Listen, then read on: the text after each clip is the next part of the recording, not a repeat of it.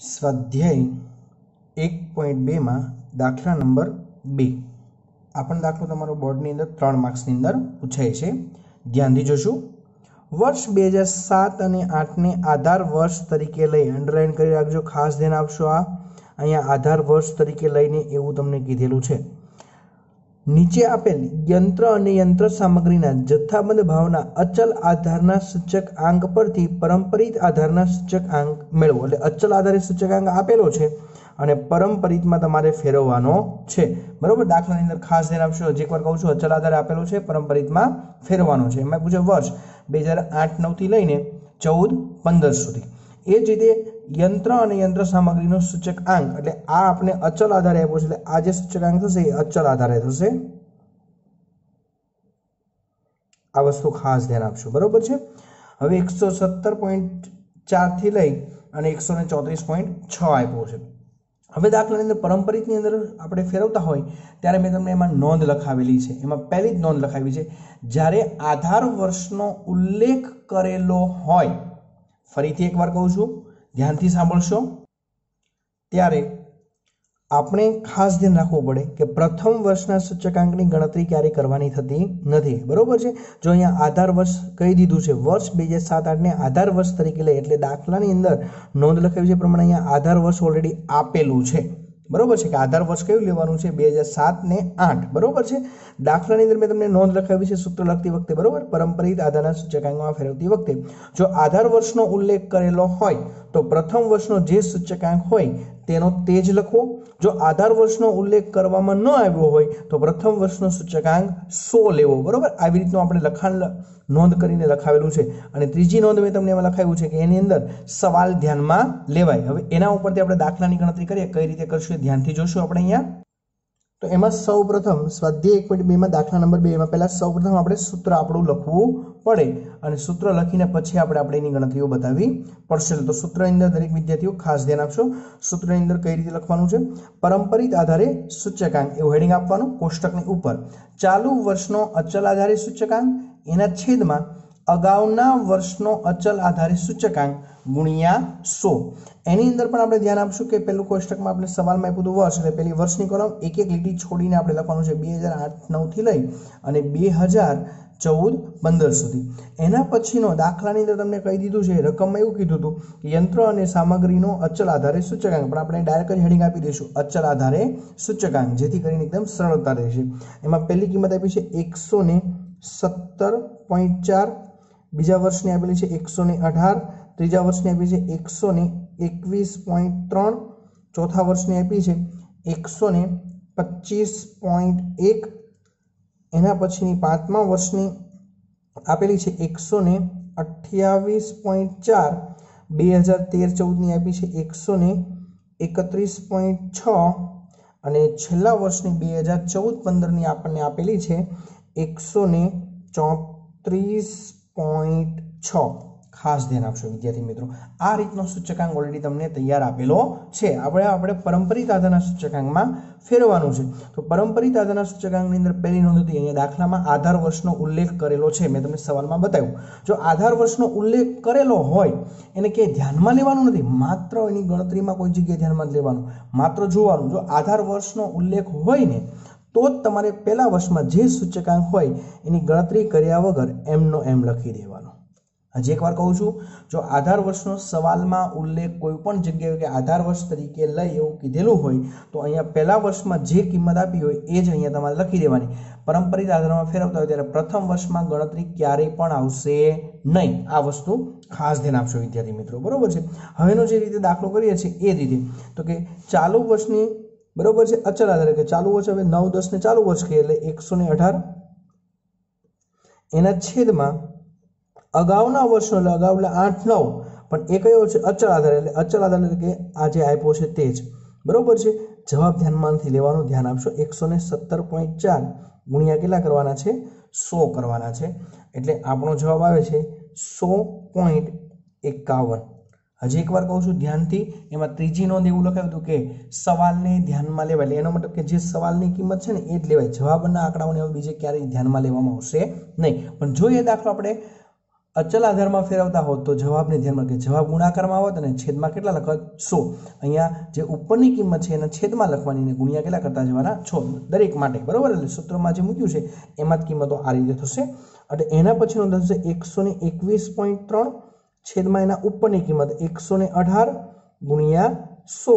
એટલે જવાબ આપણો આવે છે એકસો ને બે પોઈન્ટ એંસી. પોઈન્ટ પછીના બે અંકો તમારે લેવા ફરજિયાત છે.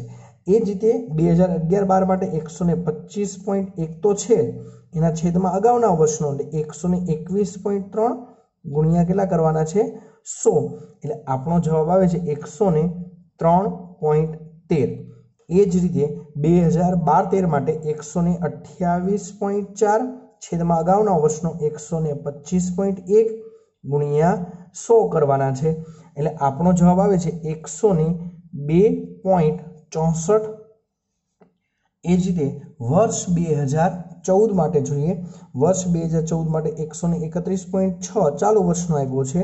અચલ છેદમાં અગાઉના વર્ષનો અચલ આધારનો સૂચકાંક એકસો ને અઠ્યાવીસ પોઈન્ટ ચાર.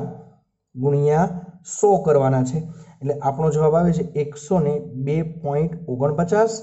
એ જ રીતે બે હજાર ચૌદ પંદરનો શોધીએ, એકસો ને ચોત્રીસ પોઈન્ટ છ. એના છેદમાં અગાઉના વર્ષનો એકસો ને એકત્રીસ પોઈન્ટ છ ગુણ્યા સો કરીએ. એટલે આપણો જવાબ આવે છે એકસો ને બે પોઈન્ટ અઠ્યાવીસ. ખાસ ધ્યાન આપશો વિદ્યાર્થી મિત્રો.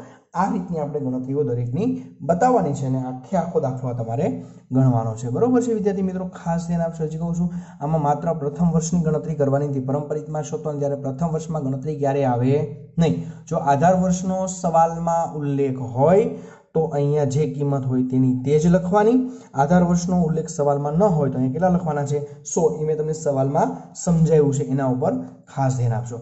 એમના પછીનો દાખલો જોઈએ.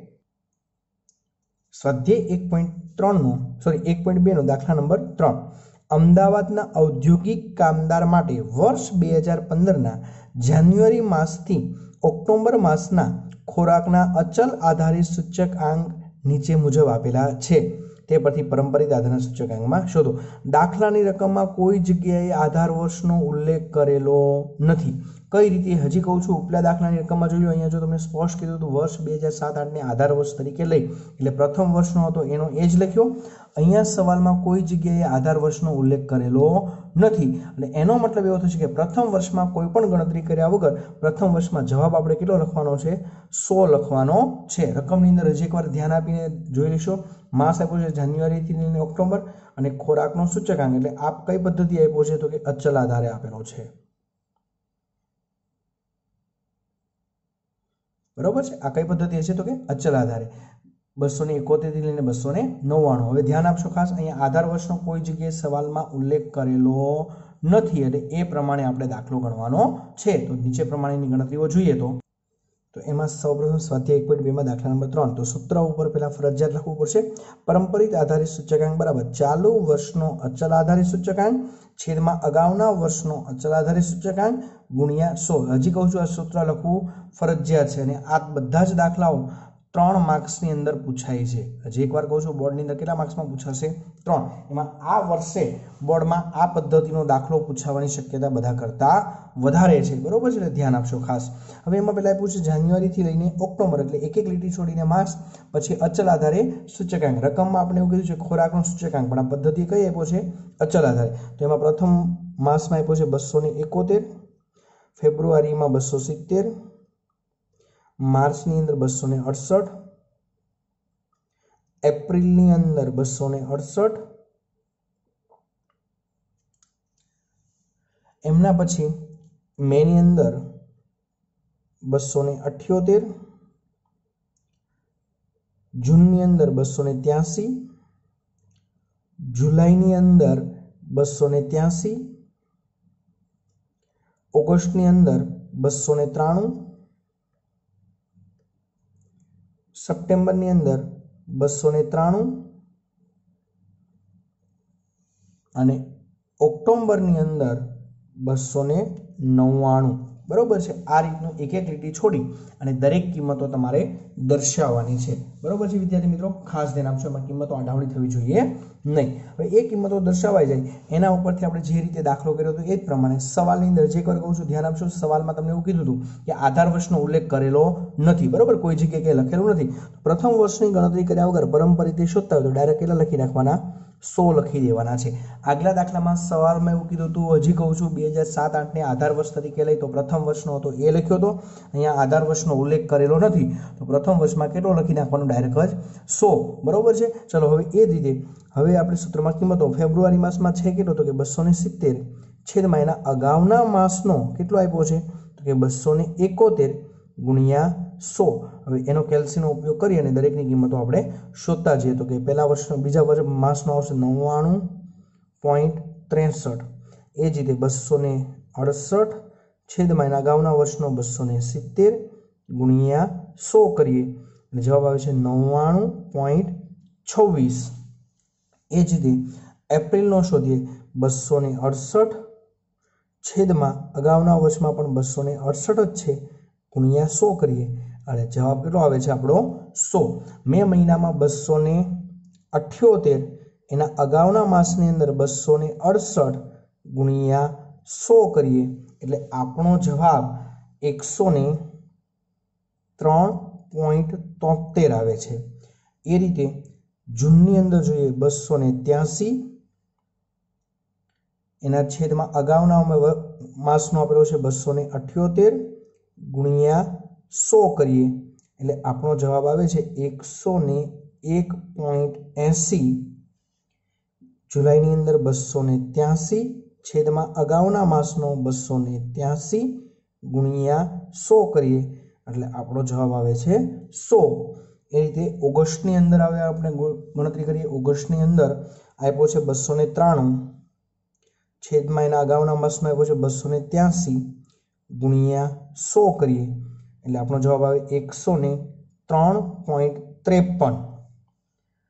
સપ્ટેમ્બરની અંદર બસો ને ત્રાણું, છેદમાં એના અગાઉના વર્ષનો પણ બસો ને ત્રાણું છે. ગુણ્યા સો કરીએ, અને જવાબ આવે છે સો.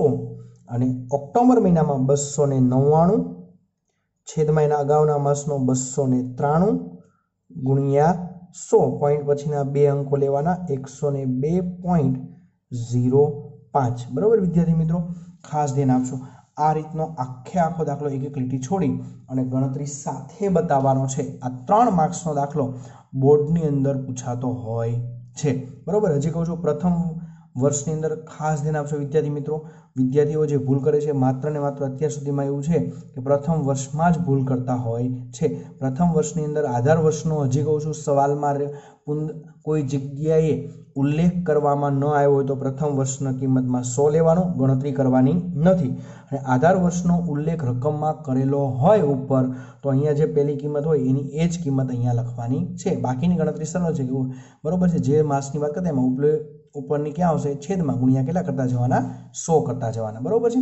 એવો દાખલો હજી એક સ્વાધ્યાયનો પણ આપણે હજી એકવાર જોઈ લઈએ, જેથી કરીને અટવાતા કોઈ વિદ્યાર્થીઓ અટવાતા હોય તો એમના પ્રશ્નનું સોલ્યુશન થઈ જાય.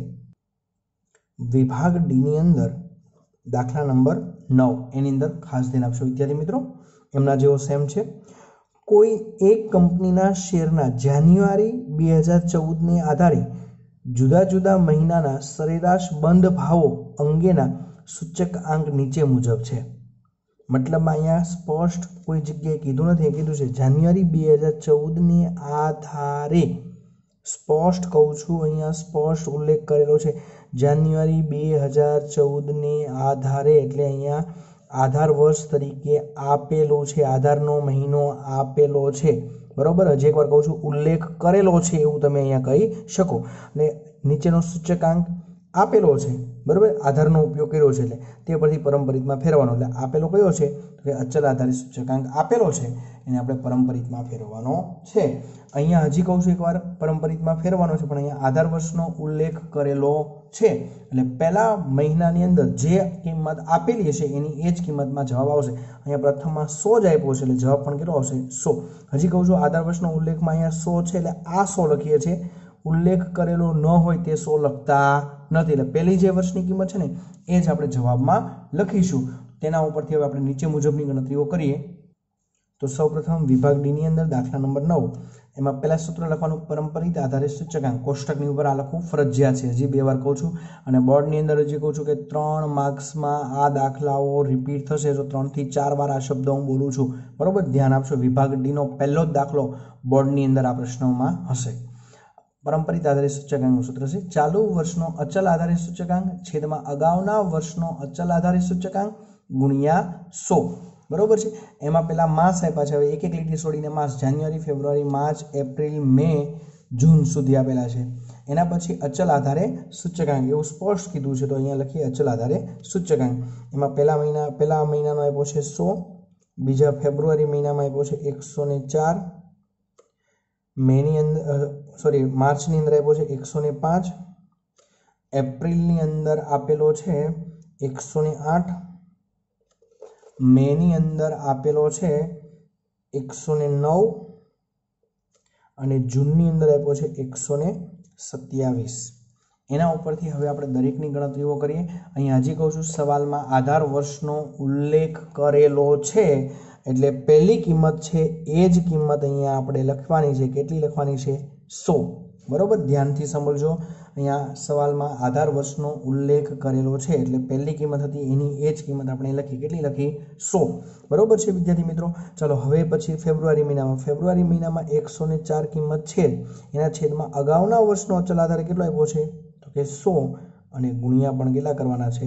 સો અને જવાબ આવે છે એકસો ને ચાર. એ જ રીતે અહીંયા એક માર્ચ મહિનામાં એકસો ને પાંચ છે. એના છેદમાં અગાઉના માસનો કેટલો આપ્યો છે એકસો ને ચાર ગુણ્યા કેટલા કરશું? સો. એટલે એકસો પાંચ ભાગ્યા એકસો ચાર ગુણ્યા સો કરીએ. એટલે સો પોઈન્ટ છન્નું આવે છે. એ રીતે એપ્રિલ મહિનાની ગણતરી કરીએ તો એપ્રિલ મહિનામાં એકસો ને આઠ આપ્યો છે. એના છેદમાં અગાઉના માસનો એકસો ને પાંચ ગુણ્યા કેટલા કરવાના છે? સો. બરાબર છે? તો એપ્રિલ મહિનાની ગણતરીનો જવાબ આવે છે એકસો ને બે પોઈન્ટ છ્યાસી. મે મહિનાની વાત કરીએ તો મે મહિનાનો આપેલો છે ઓલરેડી એકસો ને નવ છેદ મહિના અગાઉના મહિનાનો કરીએ એકસો ને આઠ ગુણ્યા સો એટલે એકસો પોઈન્ટ ત્રાણું.